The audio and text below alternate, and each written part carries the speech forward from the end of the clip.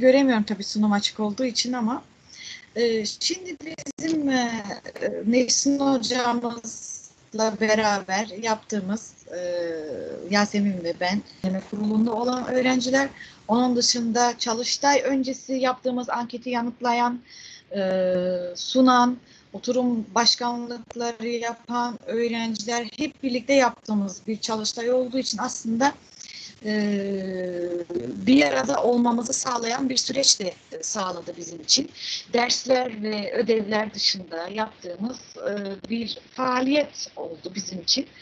E, Çalıştay'ın raporu tabii sunulacak e, ve internet sitemizde paylaşılacak. Daha sonraki çalıştaylarımız çok daha kapsamlı olacaktır eminim. E, bizim için de yeni bir şey oldu. Farklı farklı konular var ekleyebileceğiz. Öğrencilerin e, katkılarıyla de. E, genel olarak e, çalıştayımızın raporunu sunarken e, düzenleme komitesinde bahsedeceğim önce. Sayın hocamız Türkinaz açtı. Profesör Doktor Türkinaz açtı. Doktor öğretim üyesi Nesin İlhan. Ben Narek Doğan. Araştırma görevlisi Yasemin Adıgüzel.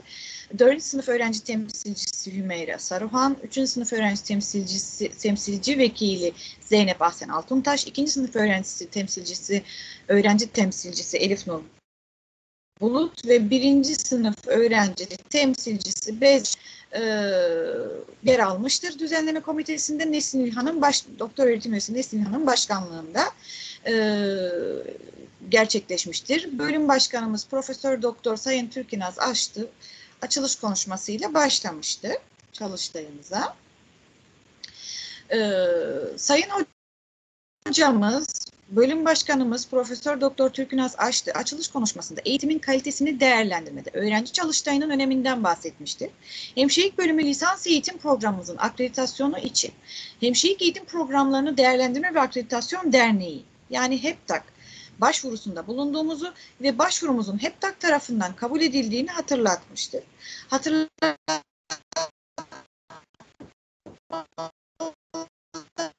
ardından bu çalışma... Narek hocam, e, yine şey kendi olacak. telefonunuzun internetini Benim... bağlasanız daha iyi olabilir hocam. Tamam. Bazen seste gitmeler olabiliyor. Tamam.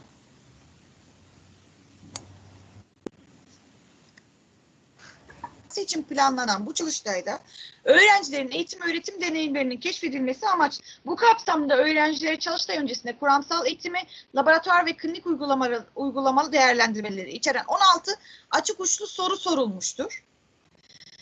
Ee, bu sorular sonucunda da e, öğrencilerin geri bildirimleri paylaşılmıştır. Ancak öncesinde öğrenci deneyimleri, Erasmus deneyimleri ve mezun deneyimleri paylaşılmıştır. Sonrasında e, bu anket e, daha doğrusu soru formu sonucunda da kuramsal eğitimde yaşadıkları ve çözüm önerileri laboratuvar uygulamalarında yaşanılanlar ve çözüm önerileri hemşirelik uygulamalarında yaşanılanlar ve çözüm önerileri sunulmuştur. Ee, çalıştay öncesinde hazırlanan sorulara verilen yanıtlara geçmeden önce de 3 adet panel hazırlanmıştır. Ee, ilk hemşirelik bölümü öğrencilerimizin deneyimleri paylaşıl, paylaşıldığı oturumdur. Beyza Şahin, Beyza Kaba, Şeyma Çopur, Yeşim Ahlaçı ve Berke Yazar e, panelist olarak yer almıştır. E, Beyza Şahin ve ikinci sınıf öğrencisi Beyza Kaba, hemşirelik mesleğini ve Bezmialem Vakıf Üniversitesi'ni seçmeye nasıl karar verdiklerini belirterek sunumlarına başlamışlardır. Sunumların devamında da teorik dersler, laboratuvar ve klinik uygulamaların nasıl işlendiğini ve edindikleri kazanımları aktarmışlardır. Üçüncü sınıf öğrencisi Şeyma Çopur ise 4. sınıf öğrencileri Yeşim Ağlaç ve Berke Yazar'la beraber e, sosyal gelişim ve sorumluluklarla ilgili olarak bulundukları kulüplerde e, ya da işte Türk Hemşireler Hemşireler Derneği'ndeki faaliyetleri ve deneyimlerini paylaşmışlardır. Evet burada bazı sunum e, sırasındaki görüntülerden e, bahsedeceğiz.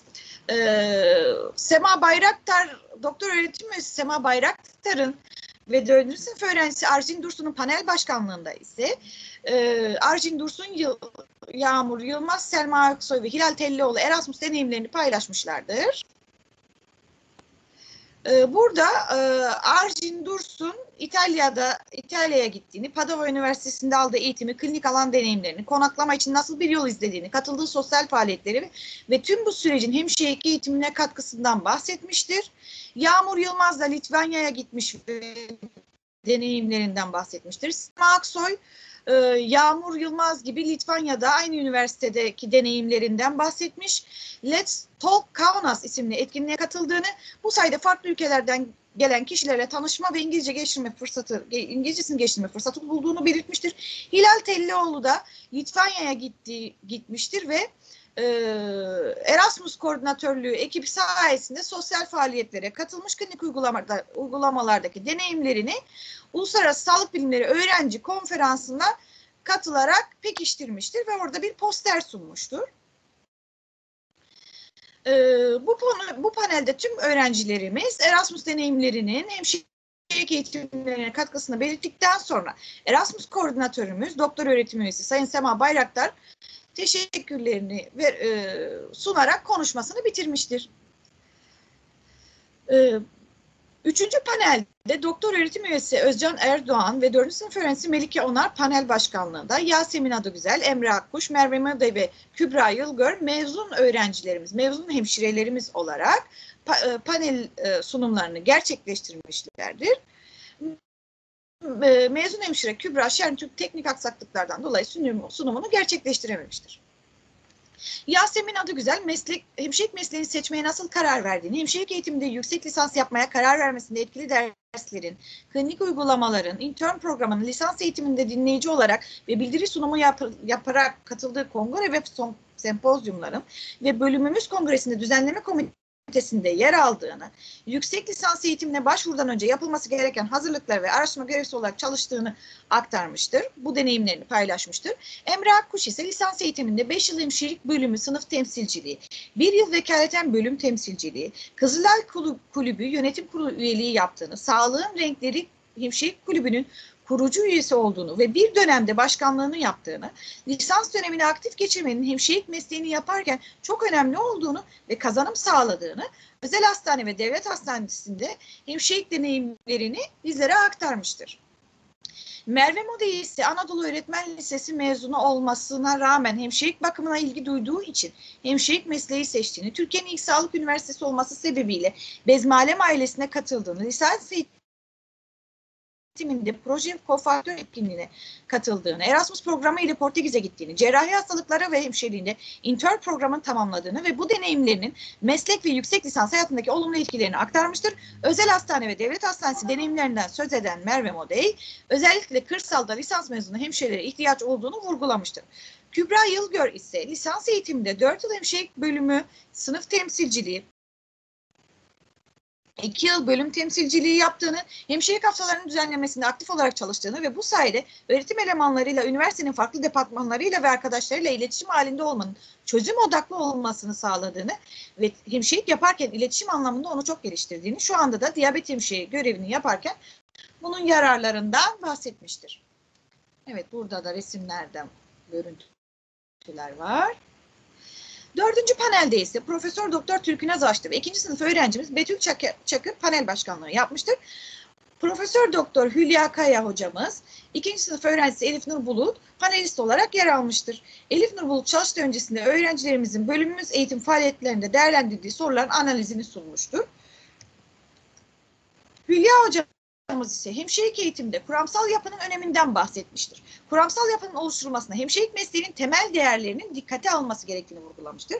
Kuramsal programın yapılandırılmasında politika ve yasalar gibi dış faktörleri bununla beraber de mesleki etik ve mesleki felsefe gibi iç faktörlerin göz önünde bulundurularak oluşturulmasına değinmiştir. Hemşireliğin kuramsal bilgisinin klinik uygulamalardan ayrı tartışılamayacağını da eklemiştir.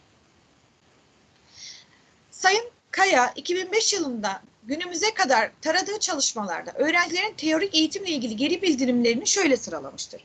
Ders saatinin fazla olması, kuramsal derslerin ard arda verilmesi, bütün gün aynı dersin aynı hoca ile işlenmesi, meslek derslerinin haftada 3 gün olması, meslek derslerinin tek dönemde verilmesi, programda boş gün olmaması, ders materyallerinin yetersiz olması, kuramsal bilginin kısmen yeterli olması, kuramsal bilginin kısmen yeterli ve yetersiz olması çoğunlukla yetersiz e, olarak görülmesi, öğretim elemanlarının yeterli donanımda olmaması, öğretim elemanlarının ilgisiz olması, uygulamadan çok teoriye ağırlık verilmesi ve teoriyle uygulamanın çatışma e, içinde olduğu, yani çatışmalı bir süreç olduğu belirtilmiş.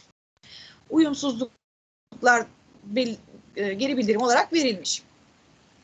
Ee, daha sonra öğrencilerin bir derste aldığı bilgiyi diğer derslerde kullanamadığını, bu sebeple bilgiyi anlamada ve yorumlamada sorunlar yaşandığı ortaya çıkmış.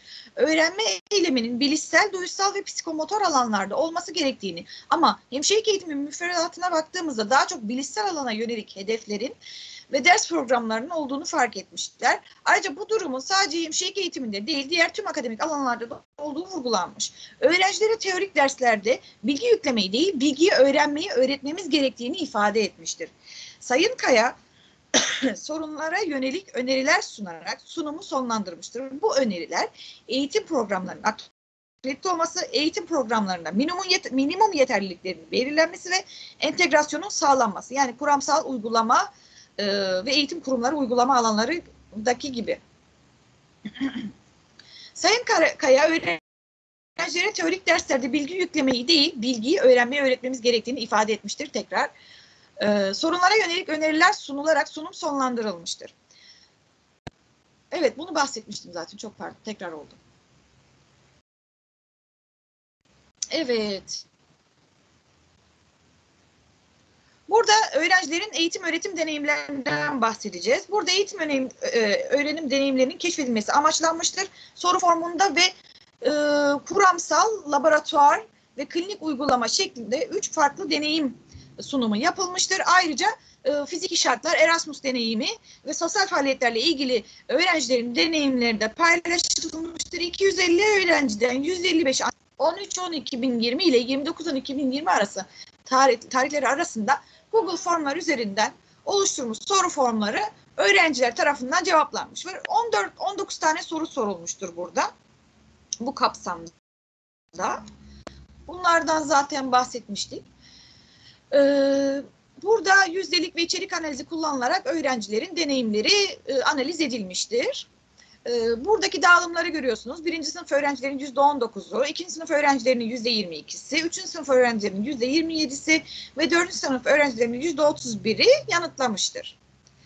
E, teorik derslerle ilgili zaten öğrenciler sunum yapmıştı. Genel olarak bakalım Elif Nur Bulut sunum yapmıştı. Genel olarak baktığımızda ne tür e, çıktılar çıkmış ki Hülya hocamızınkiyle benzer şeyler de vardı. Özellikle online süreçte ders içeriklerinin yoğun olduğundan bahsetmişler. Ödevlerin sayısının fazlalığını iletmişlerdi.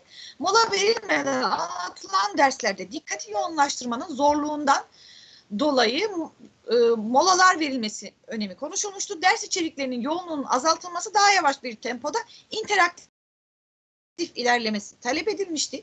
Ders materyali olarak kullanılan PowerPoint sunumlarında daha çok görsel hitap etmesi ve görsel olarak daha eğlenceli olması istenmişti. Ders sürelerinin değişken olması, e, yani dersin başlama ve bitiş saatlerinin bazen kayması teknik aksaklıklar nedeniyle gün içi planlama yapmalarını zorlaştırmaktaydı.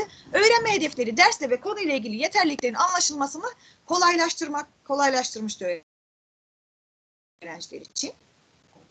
Ee, onun dışında e, online sisteme gittikçe alışıldığı ortaya çıkmıştı. Yüz yüze eğitim gibi olmazsa da bazı öğrenciler kendileri için avantajlı taraflarının olduğundan bahsetmişti. Yüz yüze eğitim fırsatı yine de istenmekteydi. Teknik aksaklıklar giderilmesi istenmişti. Online süreçle beraber ders notlarının ellerine önceden ulaşması ise onlar için bir avantaj oluşturmuştu. Ee, e, öğretim elemanlarına giden olarak öğrenciler memnun. Ee, bununla ilgili bir sıkıntı yoktu derslerle ilgili olarak. Öğrencilerden gelen çözüm önerileri ise yine derslerin kısaltılması, molalar verilmesi, interaktif gitmesi, yoğunluğun azalması, teknik çözümler ve yüz yüze eğitim fırsatının yaratılmasıydı. Sınav ve ödevlerle ilgili de sınavlar aslında ders içeriklerine uyumluydu. Yalnız bazı yoğun derslerde e, sınavlar bu soruları soruların yoğun bir şekilde yansımadığı, derslerin daha yoğun geçti, sınavların daha aslında buna yönelik basit olarak e, algılanmıştı. Hemşirelik bakımına yönelik soruların arttırılması, e, soru sayılarının, soru sürelerinin ve konu dağılım konuya göre verilecek e, soruların dağılımlarının öğrencilere önceden, önceden bildirilmesi istenmekteydi öğrenciler tarafından. Yazım hatalarının olması onları kaygılandırıyordu sınavda o yüzden olmamasını istiyorlardı. Açık uçlu sorular, daha kısa yanıtlı sorular olması zamandan kazanmak için bunu talep etmişlerdi. Ve de verilen ödevlerin yani sınavların sadece bir tane değil başka ödevlerle de desteklenmesi dönem sonu notunun başka ödevlerle desteklenmesini istemektelerdi. Yine ödevlerin e, dönem sonu notuna yansıması, e, yeterli teorik bilgi verildikten sonra ödevlerin verilmesi e, ve yaptıkları hataları, ödevlerde yaptıkları hatalara yönelik geri bildirim almak istemek. Eğer geri bildirim alamayacaklarsa da ders içinde paylaşılabilir, tartışılabilir olmasını istemekle istediler. E, panel 5'te e, Hale hocamız e, ile e, 3. sınıf öğrencimiz Zeynep Hasan Altuntaş panelist olarak yer almıştır. Doktor üyesi Sayın Hale Tosun, teorik bilginin e, bilişsel alandaki yetkinliğin klinik alanda uygulanması, psikotor, psikomotor becerilere dönüştürülmesi için laboratuvar uygulamalarının köprü görevi gördüğünü aktararak konuşmasına başlamıştır. Hemşirelik eğitimde teorik bilginin uygulamaya yansıtılması noktasında hem öğrencilerin hem öğretim elemanlarının çeşitli sebeplerden dolayı fiziksel alan problemleri, norm kadroya uygun öğretim elemanı yetersizliği ve sayıca yetersizliği gibi sorunlar yaşandığı belirtilmiştir ki bizim öğrenci deneyimlerinde de e, bunlar çıkmıştır aslında. Pandemi sürecinde genç mezunların yoğun bakımlar gibi komplike alanlarda çalışmaya başlamasından, bu durumun klinik alanda bakım faaliyetlerini koordine etmede sorunlar oluşturabileceğinden bahsederek lisans eğitiminde laboratuvar uygulamaların önemini vurgulamıştır. Laboratuvarların klinik eğitim ortamlarının yerini almadığını, aksine tamamlayıcı olduğunu, öğrencilerin mesleki becerilerini kazandırmayı amaçladıklarını, güvenli ve kontrol edilebilir ortamlar olduğunu, öğrencinin istediği kadar tekrar yapmasına fırsat verdiğini, gerçek hasta üzerinde tolere edilemeyecek hataların giderilmesine olanak sağladığını eklemiştir. Laboratuvar uygulamaları ile uzun vadeli amacın hasta güvenliğini sağlamak ve klinik alandaki hataları azaltmak olduğunu belirtmiştir. Laboratuvar uygulamalarında öğrencilerin mutlu, mutlu ve istekli olmasının öğrenme faaliyetlerine çok önemli olduğunu belirten Sayın Tosun bu noktada klasik öğretim yöntemlerinin ma manken, maket kullanımı yanı sıra interaktif öğrenme yöntemlerinin, demonstrasyon, roleplay gibi öğretim yöntemleri, gerçek klinik senaryolar, video gösterimi, simüle hasta ya da standartize hasta gibi eğitim yöntemleri kullanımının önemli olduğunu vurgulamıştır. Ayrıca öğrenciden uygulamalara yönelik geri bildirim alma, alınması hangi uygulamayı anladı, yapabiliyor, hangilerinin yapamıyor bunların önemli olduğunu ve öğrencinin öğrenmesini kolaylaştırdığını vurgulamıştır.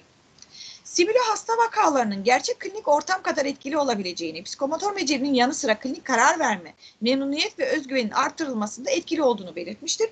Standart hasta kullanımının öğrencinin hasta ile iletişim becerilerini kuvvetlendirdiğini, özellikle birinci sınıf öğrencileri için çok önemli olduğunu anlatmıştır.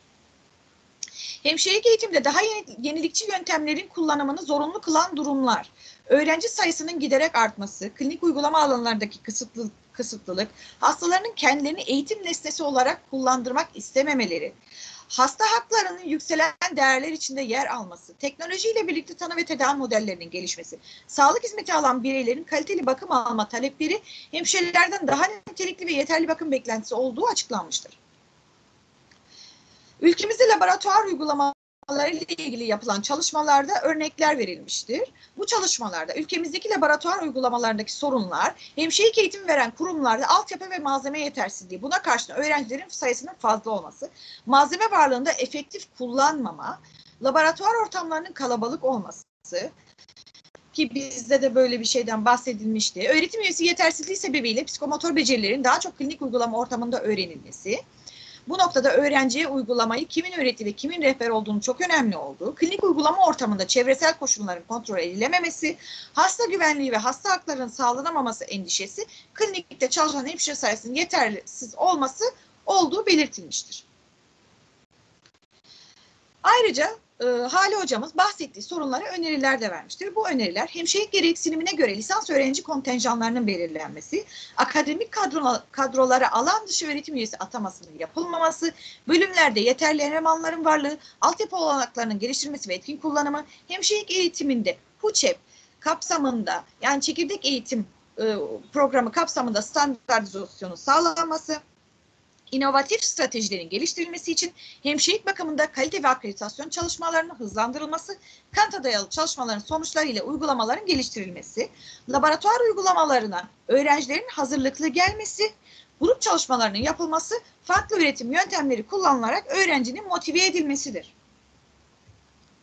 Evet, laboratuvar uygulamalarına yönelik çıktılarımız bizim neler olmuş peki?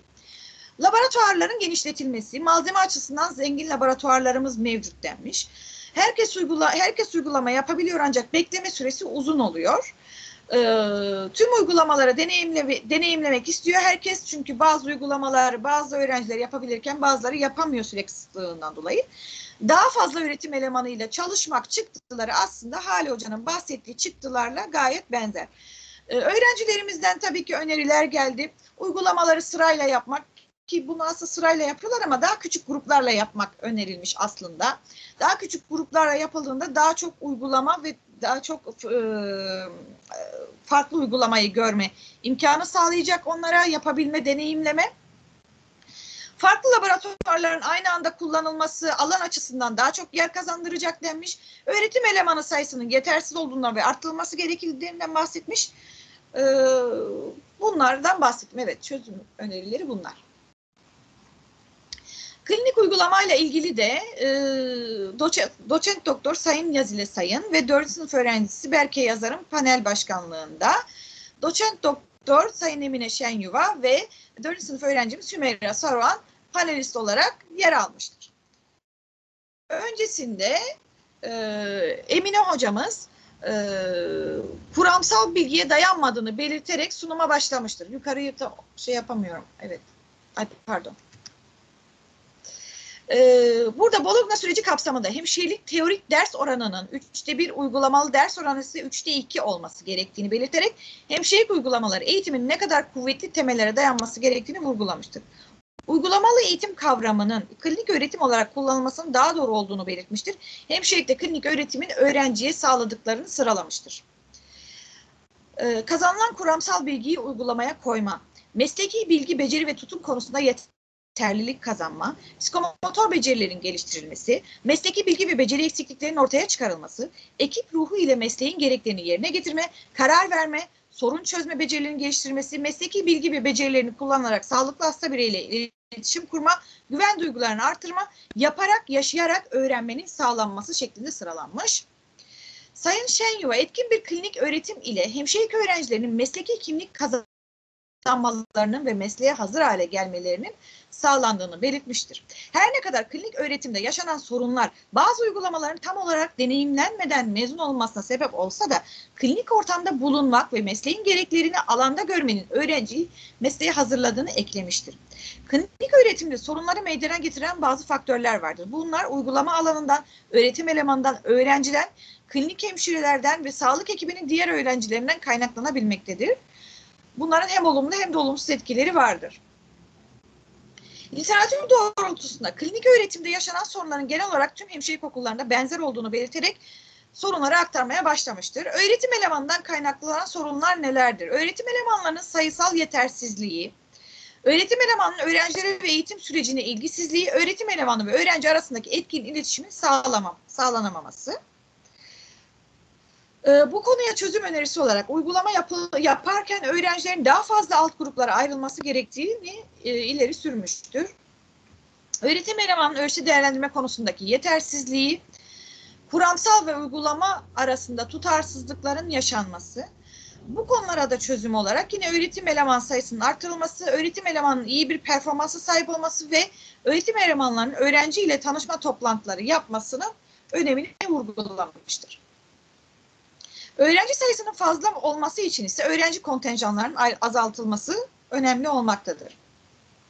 Öğrencinin çıktığı klinik uygulama alanına ait yeterli bilgiye sahip olmaması, uygulama, uygulamaları daha önce aldığı kuramsal temele dayandıramaması, bazı öğrencilerin hastalara bakım ve tedavilerine katılamaması, bazı öğrencilerin hastaların bakım ve tedavine katılmak sorumluluk üstlenmek istememesi, kendi öğreniminde sorumluluk alamaması, sağlık ekibi üyeleriyle etkili iletişim kuramaması ve sorun çözme ve karar verme sürecine katılamaması da aslında e, sorunlardan birisi klinik uygulama alanında. Bunun dışında fiziki ortamdan kaynaklanan bazı sorunlar var. Uygulama alanlarının yetersizliği bildiğimiz gibi kuramsal eğitime uygun olmayan hasta popülasyonları, uygulama alanların, alanlarda öğrenci sayısına oranla vaka sayılarının, hasta sayılarının az olması, uygulama alanlarının beceri kazandırmaya uygun olmaması, e, kalabalık klinik gruplar, araç gereç eksikliği ve uygulamaya çıkılan alanlarda öğrencinin kullanacağı ortamların yetersiz olması. Bu kapsamda çözüm önerileri olarak hemşirelik okullarında daha az öğrenci kontenjanlarının açılması, uygulamaya çıkılan alanların yeterlilikle ilgili yeterlilikleriyle ilgili konuların görüşülmesi ve uygun ortamların temin edilmesi, hastane yapılarının organize edilirken hemşirelik eğitimine olanak verecek şekilde alanların oluşturması için gerekli görüşmelerin yapılmasını önermiştir. Klinik hemşirelerden kaynaklanan sorunlar ise klinik hemşirelerin öğrencilere rehberlik yapacak özelliklere sahip olmaması ki bunlar bizim öğrenci geri bildirimlerimizde de vardı. Klinik uygulama ortamlarında yoğun iş yükü ve zaman kısıtlılığı nedeniyle öğrencilere yeterli vakit ayıramaması ve klinik hemşirelere öğrencilere rehberlik ve destek sağlamaması e, ve öğrencilerin klinikte istenmemesi gibi durumlar. Bu konuda çözüm önerileri neler? Klinik rehberlere hemşirelik e, eğitimi uygulaması, e, yani he, klinik rehber hemşireliği e, mentor programlarının uygulanması, standartizasyonu sağlaması ile klinik rehber hemşireliğinin kullanılabilirliğinin ve yaygınlığının arttırılması. Sağlık ekibi üyelerinden kaynaklanan sorunlar, e, öğrencilerin sağlık profesyonelleri tarafından benimsenmemesi ve onlarla çatışma yaşaması. Bu yüzden de e, sağlık ekibi üyeleri ve sağlık sistemi yöneticileriyle işbirliği sağlanması ve akademisyenlerin öğrencilerin kendi sorumlulukları doğrultusunda sorunlara çözüm önerileri getirmesi gerekmektedir. Klinik uygulama çıktılarına baktığımız zaman bizim öğrencilerimizden gelen pandemi sürecinde hemşirelik uygulamalarının ve bakımının nasıl yönetileceği, yönetileceği konusunda beceri sahibi olmak istemişlerdi. Ee, aslında e, bunu istiyorlar. Ee, pandemide de staja çıkmak isteyenler de vardı. İstemeyen yani staj demeyeyim klinik uygulamaya çıkmak isteyenler de vardı. İstemeyenler de vardı.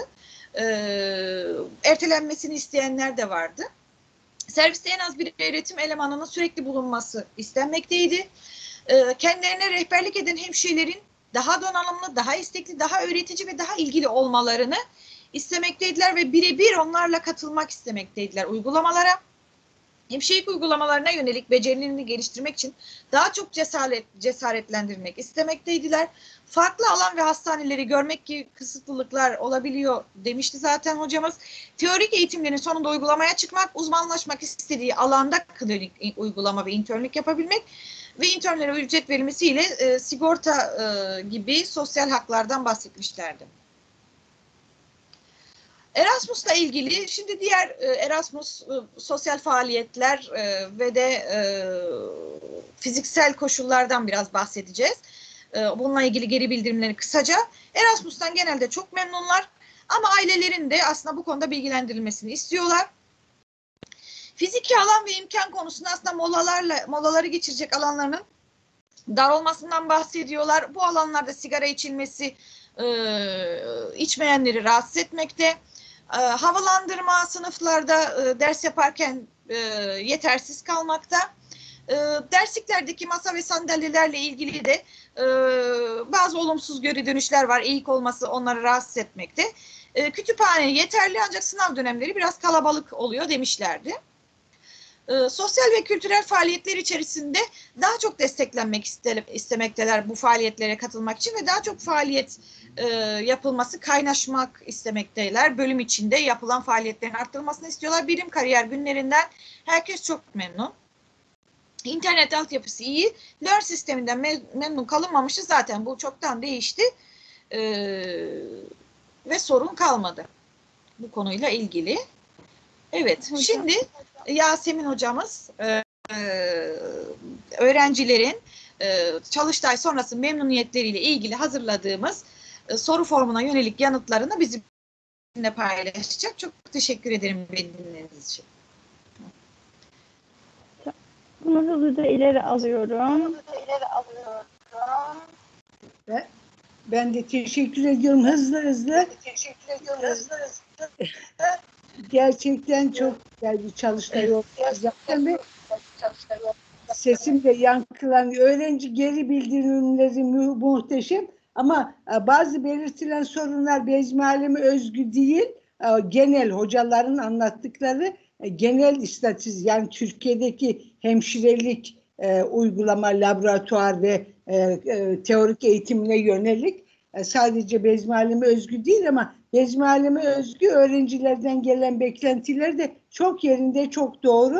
Çok kutluyorum. Zaten Çalıştay da çok güzel olmuştu. Peki çok uzatmayayım. Teşekkürler. Hocam az sonra söz edeceğiz. Ee, aslında öğrencilerimiz Çalıştay sayesinde de hemşirelik eğitiminde bu sorunların genel sorunları olduğunu, üniversitemize özel olmadığını kavradılar. Ben şimdi sizlere öğrencilerimize Çalıştay sonrasında yaptığımız e, Çalıştay değerlendirme ve memnuniyet anketinin sonuçlarını sunacağım. Bu kapsamda düzenleme komitesiyle beraber bir memnuniyet anketi oluşturup tüm öğrencilerimize Google Formlar üzerinden gönderdik. Amacımız Çalıştay hakkında öğrencilerimizin değerlendirmelerini almak, geri bildirimlerini almak ve gelecek çalıştaylarda hangi konulara değinelim, bu noktada ne düşünüyorlar onları almaktı. Bu kapsamda 3 bölümden ve 19 sorudan oluşan bir soru formu oluşturduk. Sorular genel olarak Çalıştay programının içeriğini baz alıyordu. Öncelikle teknik sorunlara yönelik değerlendirmelerini aldık. E, uygulamaya bağlanabildiler mi, aksaklık yaşadılar mı? Sonrasında Çalıştay programının içeriğinde bulunan panel konularını değerlendirmelerini istedik ve kendilerine ne kadar faydalı olduğunu değerlendirmelerini istedik ve gelecekteki çalıştaylara yönelik istek ve önerilerini sorduk son olarak. Üç bölümden ilkinde Çalıştay programının sürecini değerlendirmeye yönelik dört ifade vardı. Bunlar Likert tipli olarak soruldu verilen ifadeleri hiç katılmıyorumdan e, tamamen katılıyorum'a kadar öğrencilerin değerlendirilmesi istendi. İkinci bölümde çalıştay programının içeriğini değerlendirmeye yönelik 14 ifade vardı. Son bölümde ise yine açık uçlu bir soru sorarak çalıştay, diğer çalıştaylar için önerilerinin ne olduğunu aldık. Burada bakacak olursak Yasemin, öğrencilerimizin... Yasemin Hocam sunumunuz ilerliyor mu? Bizde ilerlemiyor çünkü. Hocam bende ilerliyor ama tekrar geri gideyim. Görünmüyor mu hocam? Ee, Çalıştay programının sadece altı panelinin e, şeyi ve bir fotoğraf görünüyor şu anda. Başka bir şey görünmüyor. Hocam Ben tekrar paylaşayım. Şu an nasıl hocam? Devam edelim hocam. Büyütürseniz. Şu an büyük ekranda görünüyor mu hocam? Yasemin Hocam büyütelim. Hocam ben büyüttüm ama Öyle? Büyümemiş gibi duruyor şimdi. Büyümemiş Şimdi gibi oldu duruyor. mu? Herhalde biraz olmadıysa tekrar deneyeyim. O- Olmadı hocam. masaüstü paylaşım belki öyle olur.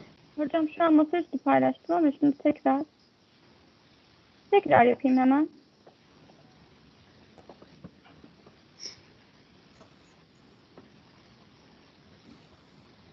Şu an görünüyor mu hocam? Gelmek üzere. Gelmek üzere sanırım.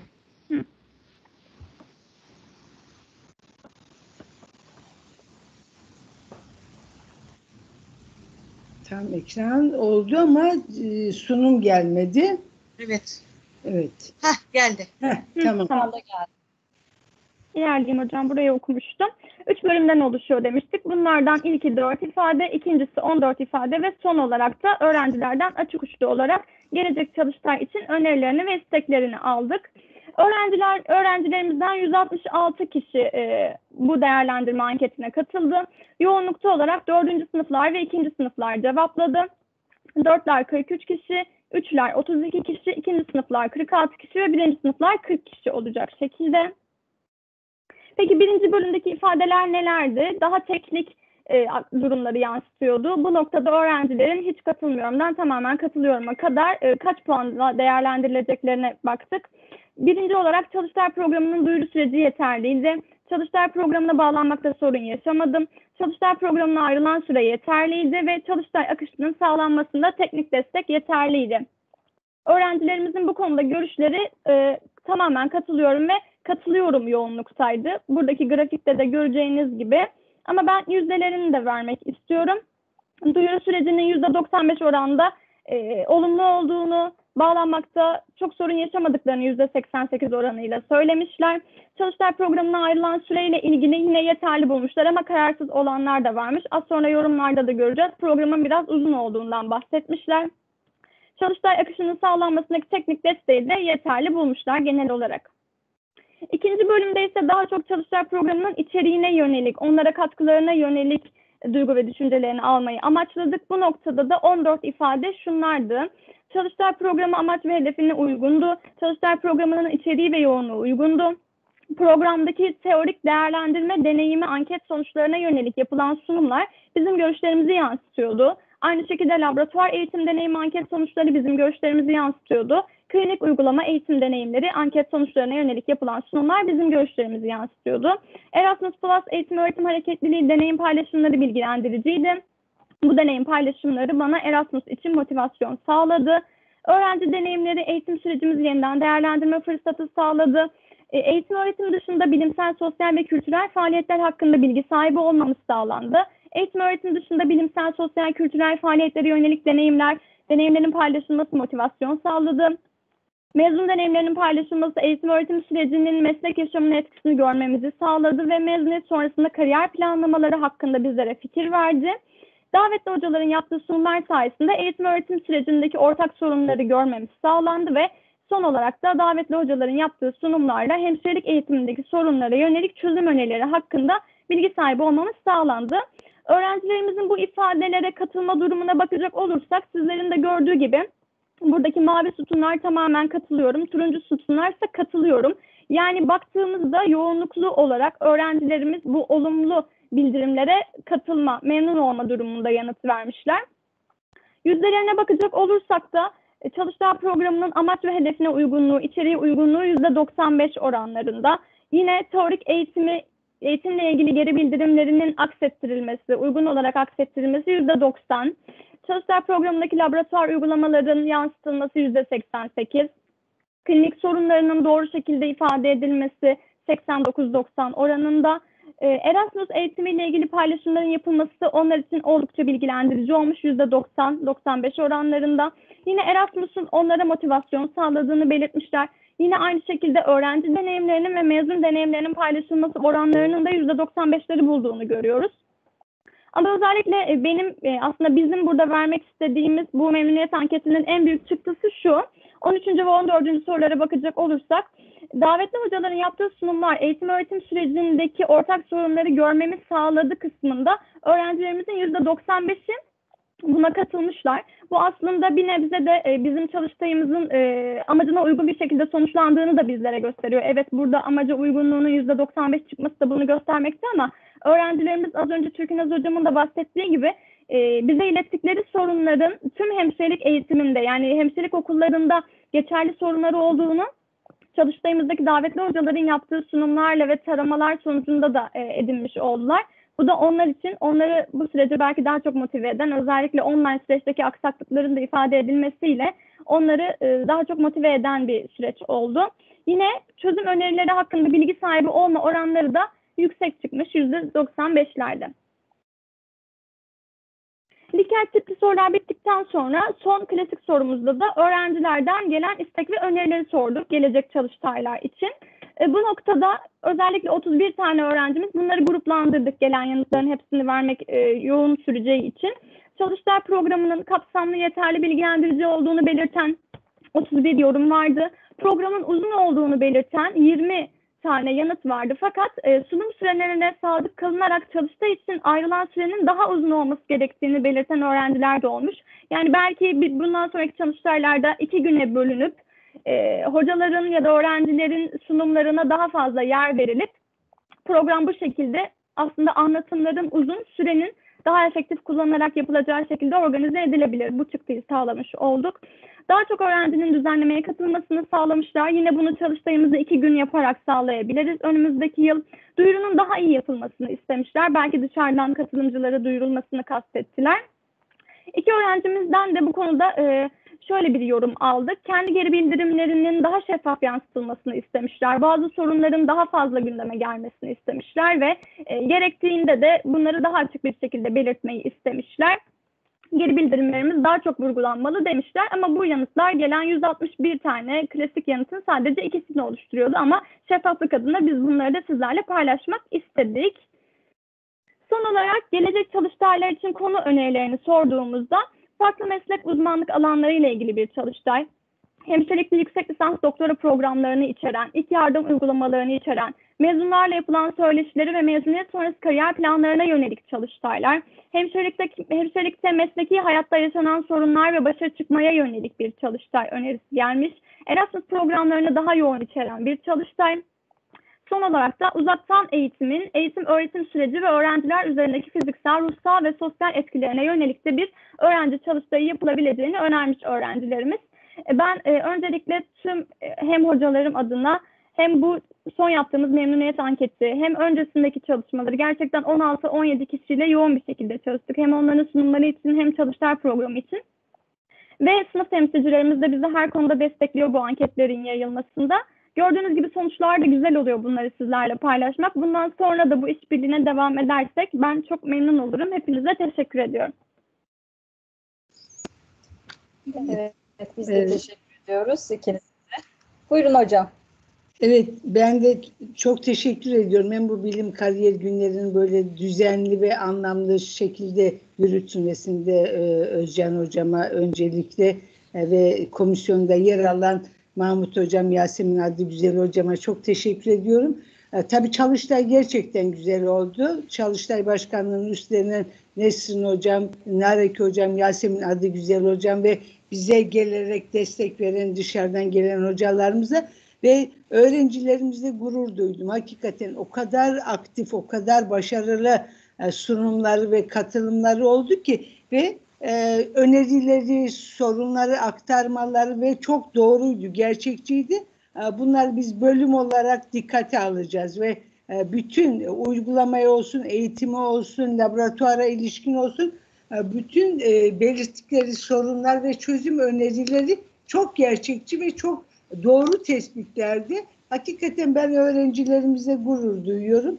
E, Bunları da biz bölüm olarak giderilmesi konusunda da titizlikle ele alacağız. E, Bugünkü şey sunumlar için de hem Narek Hocama hem Yasemin Hocama da çok teşekkür ediyorum. Teşekkür ederiz hocam. Ee, söz almak Nesin hocam, isteyen katkı, evet Nesin hocama zaten söz vereceğim. Ee, önce o zaman Nesin hocama söz verelim.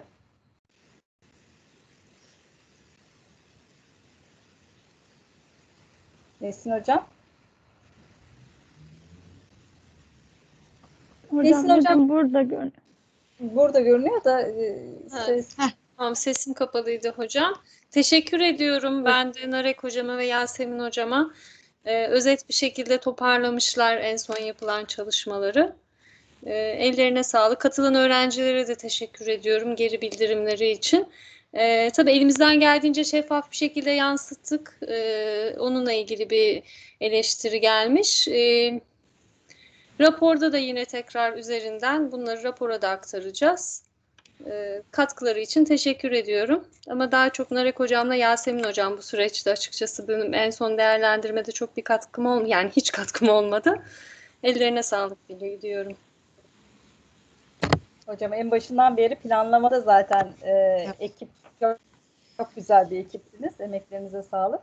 E, gerçekten öğrencilerimizin hem e, hazırlık sürecinde hem çalıştayın e, çalıştay esnasında hem de sonrasındaki katkıları bizler için çok kıymetli. Kendileri için de çok kıymetli. Çünkü sonuçlar e, birebir onlara etkileyecek olan veriler. E, acaba diğer hocalarımdan veya öğrenci arkadaşlarımızdan söz almak isteyen var mı? Bir 10 Hocam dakikamız de daha var. Çok da güzel zaman istiyorum. Ee, bizi desteklediğiniz için Türkinaz hocama, size e, Nesin hocamın yine e, her zaman yanımızda oluşu aslında. E, Yasemin hocayla beraber çok güzel çalışabiliyoruz ve e, öğrencilerimizle de e, bu süreçte bize olan destekleri çok iyi oldu. E, bizi aslında hani de, oldukça desteklediler. Bu kadar uzakta olmamıza rağmen bu işi çıkarmamızda herkesin çok katkısı var ve bize bu, bu e, yaptığımız işi sunabilmemiz için de bilim kariyer günlerinde bize fırsat verdiğiniz için size çok teşekkür ederiz hocam. Öyle teşekkür etmek istedim. Sağ olun hocam. Evet. Hocam ben de Narek hocamın teşekkürlerine katılıyorum. Türkinaz hocamın, Nesin hocama sizlere hepinize çok teşekkür ederim. Öğrencilerimizden hocam geri bildirimi canlı canlı almayı da ben çok isterim. Eğer söyleyecekleri varsa süremiz de var. İşte asıl ben de onu istiyorum. Asıl öğrencilerimiz burada konuşsun biraz daha. Evet. Çalıştay'a aktif olarak katıldınız. Sizler e, bu sonucu elde ettik. Elif Nur. Ee, öncelikle merhaba herkese. Yasemin Hocam, Narek Hocam çok güzel bir sunumdu. Emeğinize sağlık. Ee, ben Çalıştay'da aktif olarak rol aldım. Bununla ilgili söylemek istediklerim var elbette. Ee, pandemi gibi zor bir süreçteyiz hepimiz ve okula gelmeyerek hocalarımla, arkadaşlarımla bu kadar iletişim halinde olarak ancak bu kadar güzel bir şey çıkabilirdi ortaya. Ben böyle bir çalışmada olduğum için çok mutluyum. Umarım bu bir seri haline gelir ve ilk çalıştayın devamı da gelir böyle. Yani ileride mezun olduğum zaman Bezmi Alem'in işte 20. 30. çalıştayını duymak, görmek beni çok mutlu eder. Ee, hepinize çok teşekkür ediyorum gerçekten. Biz de teşekkür ederiz Elif Nur Hocam. Evet, başka söz almak isteyen arkadaşım var mı?